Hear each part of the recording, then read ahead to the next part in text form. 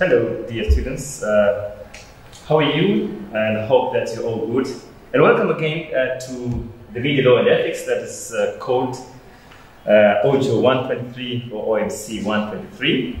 And my name is uh, Ribe Chonya from the Open University of Tanzania, and I'm taking you through media law and ethics. And today we're going to look at three levels of ethics and the balancing conflict of interest.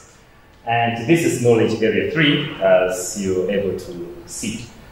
Now, at the end of this lecture, we expect students uh, to define three levels of ethics and describe with examples on how they fit in our day-to-day media context. But at the same time, we expect students also to understand the ethical conflicts of interest and how they can overcome such ethical dilemmas so as to maintain uh, the profession in the media industry and the media credibility in general. So, to start with, I think it's important that we look at the meta ethics and how meta ethics, you know, function in the media fraternity. So meta ethics, we have to define this. First, it's primarily concerned with the meaning of ethical judgments. So we are talking about the meaning of ethical judgments and the underlying uh, values. So in other words, uh, we are talking about the fundamental values that are entailed in the meta ethics. So meta ethics is quite different when we talk about, you know, uh, normative ethics, applied ethics, as we shall come and as we shall see later in this subject.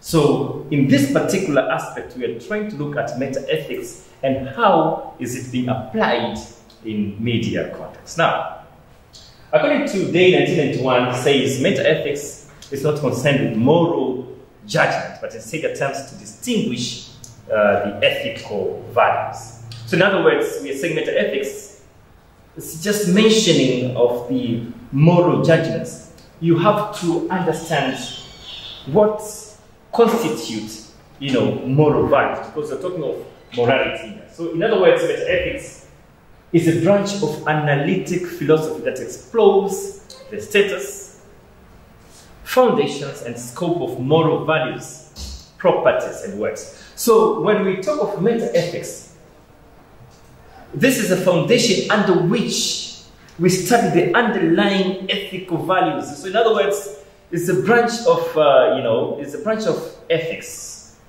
in which we see the foundations, or rather the scope of moral values. What are the scope of moral values? Properties and words. So, in other words, ethics is a study of moral thoughts or moral language. So, we find that as we go along, we're trying to look at the aspect of morality here. That is the study of moral thoughts and moral language. So we're talking, we are trying to talk about morality. So rather than addressing questions about what practices are right or good, or what which practices are appropriate or inappropriate, we're not looking at that. That is not our obligation, because the question of what is good or bad, what is appropriate or what is not appropriate, that is something to do with normative ethics of which we shall see as we go on this lecture. But as with this case, we talk about meta ethics, which means we are trying to look at morals. So meta ethics asks what morality actually is. We're trying to define. It's just kind of defining, you know, these ethical principles. So in the meta ethics, we're just defining the foundations of these words, foundation of these morals. We want to see what morality actually constitutes. So meta ethics now is interested in whether there can be knowledge of moral truth. So you can see we're talking about morals or morality. We are saying we are just interested whether there can be knowledge of moral truth or moral feelings and attitudes and ask how we understand moral discourse or discussions, in other words, as compared with, with other forms of speech and writing. So when we talk of meta ethics, we are saying that we are trying to explore the knowledge of moral truth. What is moral truth? What are the moral feelings and attitudes? So this makes the foundation, you know, of these moral, moral issues, the foundation of moral thoughts, foundation of moral feelings, before we go further into looking at normative and applied ethics. This is just a foundation. So in other words, it's the function of meta-ethics now is to define these vague concepts, the concepts that are not well known, you see, in ethical terms. So we are saying providing something like precision, the accuracy of these terms, the accuracy of this meaning, so that members of the society, you know, know where exactly to fit in. So it's a kind of uh, attempting to lay a level playing field before we embark on this journalism profession. So in other words, we are just looking at the foundations, you know, the laying stones on how ethics should apply. So in a nutshell, we're saying that meta-ethics are fundamental cultural values. These are fundamental. Talking of human rights, for example, talking about what is justice. You just ought to know what is justice. You don't make an application of it, you just have to know. What does it mean to be good?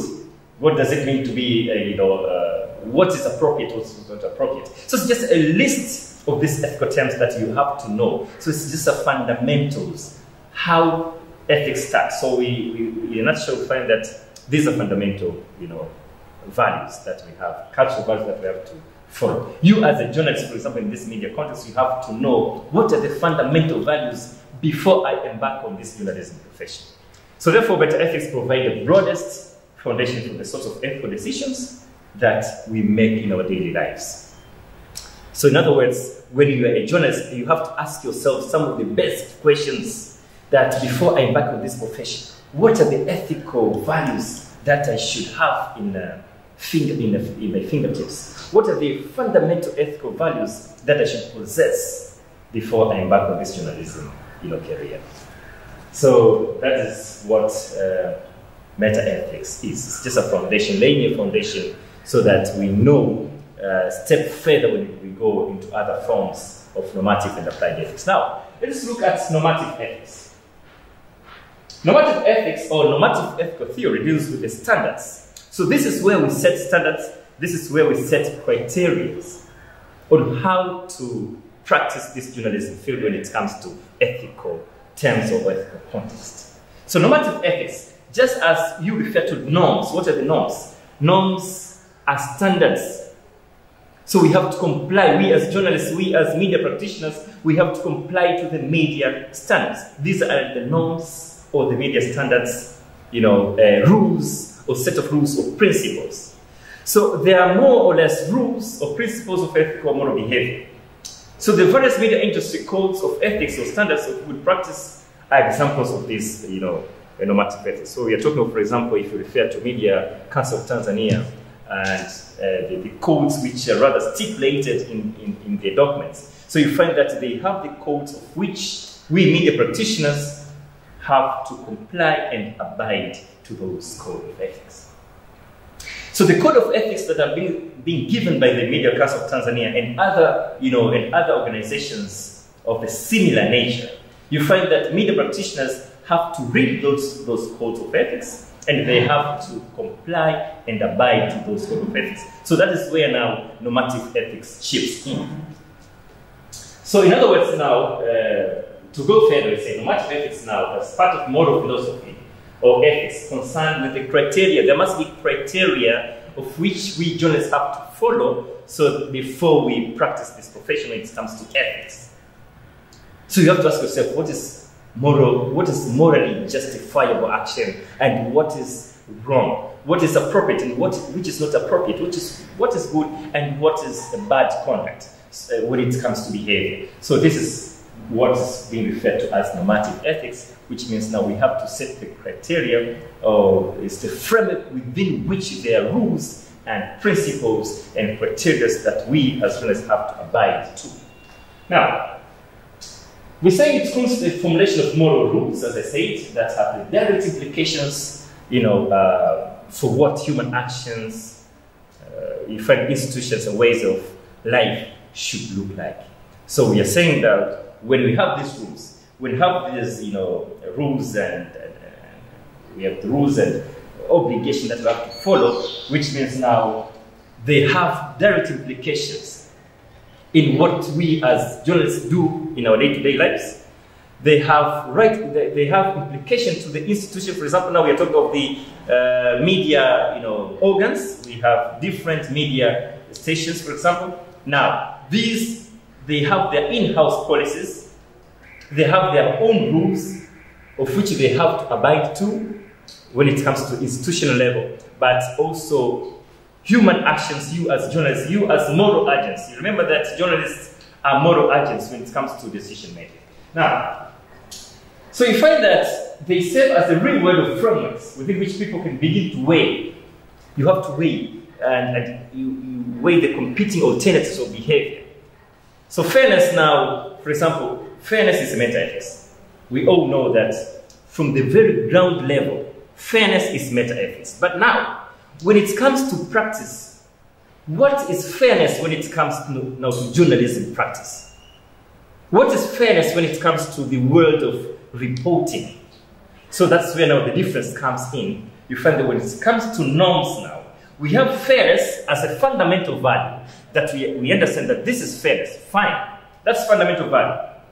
That's meta-ethics. But now, when it comes to norms, how is fairness being codified into something that we as journalists have to abide to when it comes to rules of uh, you know fairness? So this is now fairness comes in when it comes to normative ethics. That there are certain norms when it comes to fairness that you as a journalist have to abide, or you as a media practitioner have to comply. So that is what's being referred to as normative ethics. These are just sets, rules, standards, which are just there, and you have to read, and you have to abide, and you have to comply. Now, let us look into the third level that is of ethics, that is applied ethics. Just as the name suggests itself, applied, which means we have to make an application of this code of ethics. So applied ethics is a philosophical discipline concerned with the application of ethical theory in the real life situation. So in other words, applied ethics is a discipline that tries to put normative theories to practical context. Remember that I said we have the norms that is that falls under normative ethics. So, so the norms are the rules and the standards that how we have to abide and have to follow. But now when it comes to applied ethics, it's a discipline that tries to put normative theories into practice. According to Day 1991, as you were able to see there, it refers to applied ethics as a vital link between theory and practice. Theory and practice. So we find that in this context, when it comes to normative ethics, those are rules, are just there. They just stick there for you to understand and to comprehend. But when it comes to practice now, you have to apply them and make use of them in your day to day journalism practice.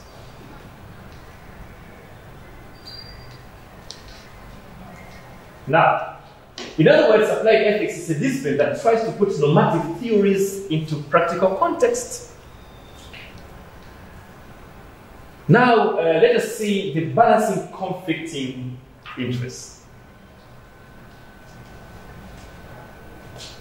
In applied ethics, the person who is making uh, you know, the decisions is called a moral agent. So we as journalists now, we are moral agents. And for moral agents now, ethical issues bring together conflict of interest. For example, those of editors, we have readers, we have advertisers, etc., etc. Now, we want to see these moral agents, or rather the journalists, how do they balance when it comes to conflict of interest? How do they balance? How do they balance the, the, the competing moral choices? You know, you're confronted with myriad of ethical dilemmas. You as a journalist, you as a moral agent, how do you balance these conflicting interests in order for you to be ethical enough? Remember that we have so many moral virtues that you have to decide in between which one to pursue so that to become ethical. Because if you're not careful, you may end up being unethical altogether. Now, the, when it comes to balancing uh, conflict of interest now, we are talking of the interest of the moral agent, for example. Let's take an example of the interest of the moral agent, individual conscience. That you as a journalist, you have your individual conscience, and especially if you're confronted with two moral competing issues, which way to go through. So you have to ask yourself as the moral agent. Now, we have the interest of financial supporters, someone who's just paying the bills in your organization. Uh, for example, you have donors, or a certain donor community who's just financing your media organ or media outlet. They're just giving you donations in terms of salary, etc., etc. Now, how are you going to cover them in a negative way? Are you going to cover them in a negative way? So that is something that you have to ask yourself. These, these are conflicting kind of interests whereby you find the interest financial supporters. These are the people who supports you. How are you going to cover them in a negative way? So that is something that you have to ask yourself. Balancing conflict of interest. How do you overcome such a dilemma? How do you balance, in other words? So the interest of an institution, for example, the media professionals, have a company loyalty, pride in the organization for which they work for. Now, imagine that in a situation that uh, a media outlet that you're working for does something which is unlawful, for example, or there is a crisis in the organization that you're working for.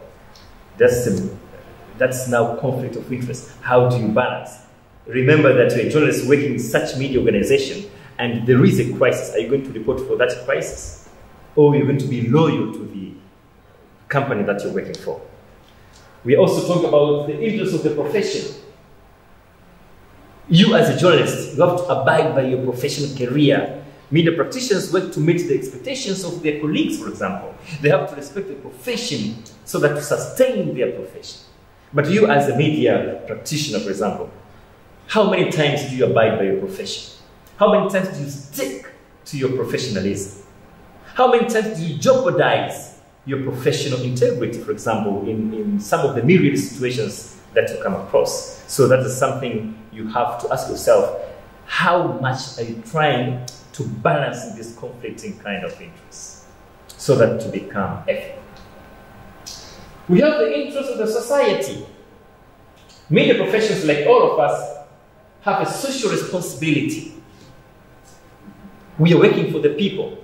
We are saving the society, which means now we have to, to be socially responsible to the people whom we are saving. But how, how many times do we, do we compromise with the social responsibility, you know, kind of theory? Are we saving the society? Remember the utilitarianism by John Stuart Mill that we discussed in the knowledge area two. We say that you as a journalist, you have to ensure that whatever you're going to cover should be of the interest to the large number of people. And this now falls under the social responsibility theory. Are we being socially responsible to the citizens that we're working for? Or, for example, imagine a situation where a journalist is now getting 100 million as a bribe not to cover a certain story at the expense of millions of Tanzanians or at the expense of millions of people whom you're saving. Is that being socially responsible? Balancing conflicting kind of interests. So you have to ask yourself, how able are you to balance these conflicting interests? In journalism and media fraternity now, in general, those conflicting interests play themselves in a variety of ways as we are about to discuss. For example, we have to examine such basic issues such as truth and honesty. Uh, we have so many problems when it comes to balancing conflict of interest, when it comes to privacy, confidentiality, personal conflicts of interest, profit and social responsibility, and protection from offensive content, etc. etc. Let's now look at truth and honesty, for example. Can the media ever be completely honest? As soon as the camera is pointing at one thing, is ignoring the other. Ask yourself as a photographer, for example, as a video photographer, whatever, whatever. You're taking a picture of somebody, but you're ignoring another person for your own personal feelings or bias, for example. Are you being ethical? Why can't you be fair enough to take the pictures of all the candidates, for example, Imagine the candidate, imagine the, the, the photographer for this, for this case is inclined to a certain political affiliation. You, as a journalist, you're not supposed to be affiliated to any political party. You have to be neutral. Now, imagine we have two candidates and you're pointing your camera at a single you know, candidate and leaving out the other, balancing conflict of interest. Are you being honest enough as a journalist? Or you have your own definition of truth imposed into one of the candidates and then leave out the other candidate. So, truth and honest. But also, we are talking about privacy. Do public figures forfeit the right of, uh, for privacy? Who told you that? In what circumstances? For example, we're talking of presidency, uh, the presidential marital problems, newsworthy, for example. If so, who is a public figure? And how newsworthy are, are, are the marital status, for example, for presidential status, etc., etc.? Because even the president or you know, prime ministers, whatever, those public figures, they have the right to, to privacy. How far as a journalist do you go to unveil the privacy issues? These are the issues that we have to discuss so that to remain, to sustain the ethics in the media industry. Balancing conflict of interest. How do you balance? And do you report the names of women who have been raped? For example, we're talking about privacy. Names of the women who have been raped or names of juvenile offenders, for example. Do you mention the names just anyhow? What about sex offenders? Do you mention their names? Do you expose their pictures, etc., etc.? How far do you go to interview the grieved parents? For example, somebody who has just lost a son lying in a pool of blood.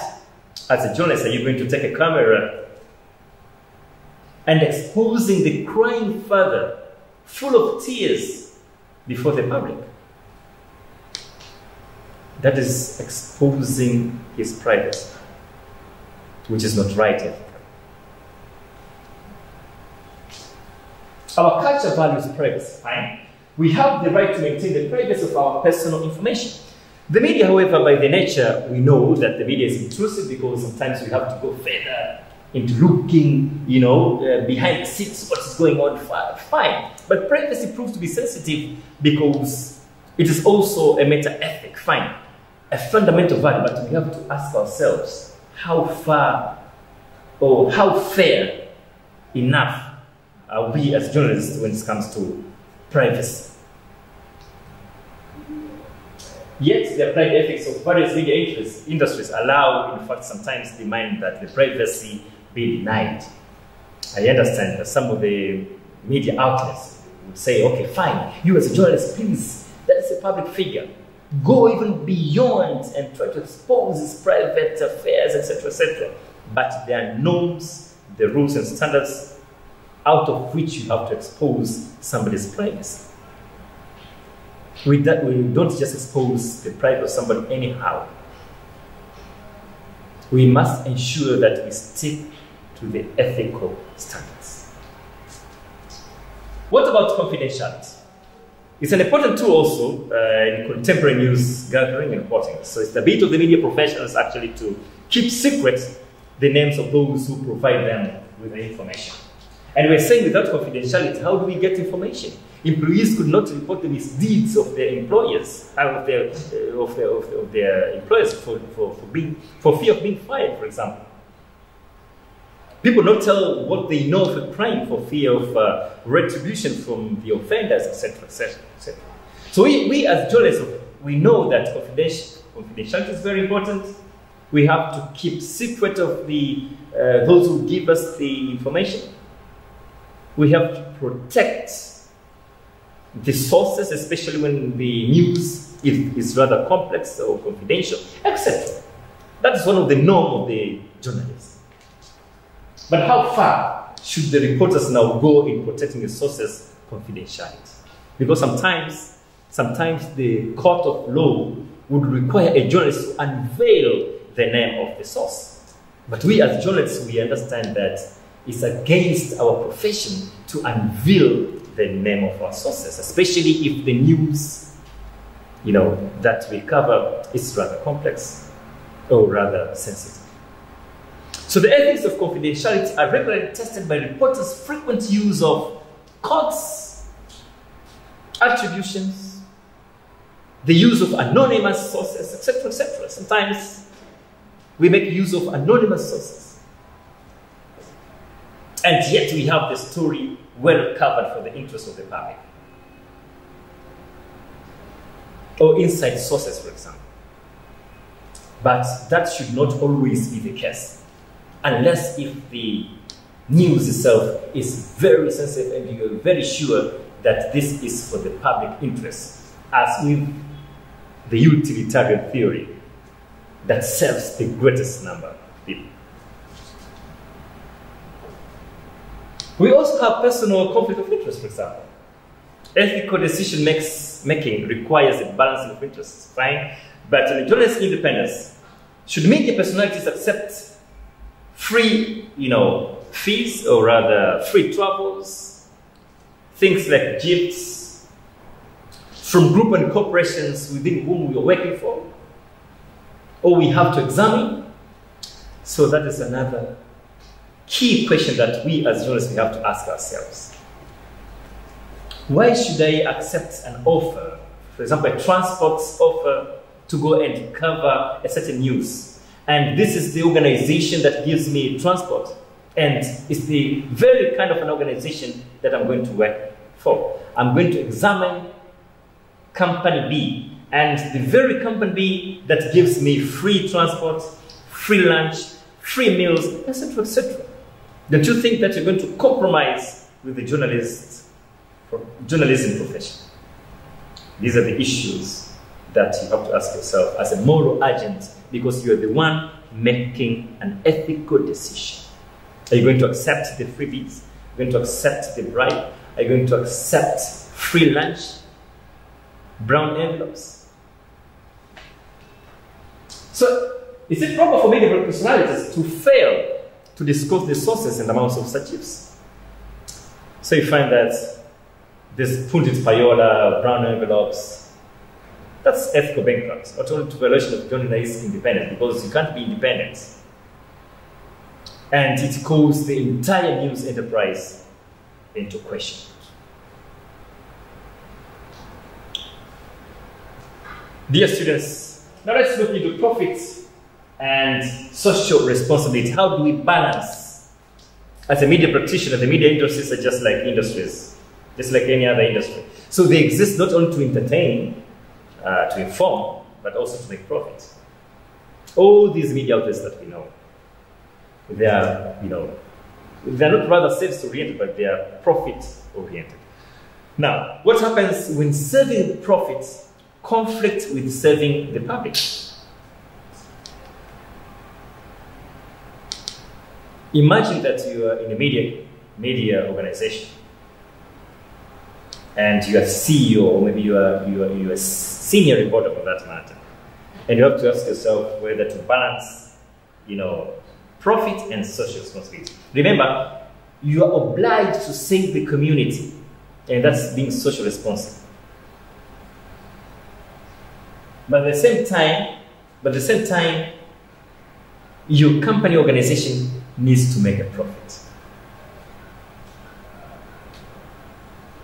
For example, practitioners in entertainment, advertising, public relations often face this dilemma. For example, does an advertising agency accept a milk producing factory advert, even though doctors have considered the milk unhealthy? You have an advertising agency, and you know for sure that the products that you're going to market are rather, you know, counterfeit or rather expired. Now, as a journalist, for example, as a public relations officer, so to speak, what are you going to do? How are you going to balance? Because you want to earn a profit in your organization, but at the same time, you have to serve the public. And remember, you have to stick to your professionalism. In this case, are you able to ignore the profit and stick to the professionalism? Is a kind of conflict of interest that you, as a moral agent, as a journalist, have to ask yourself.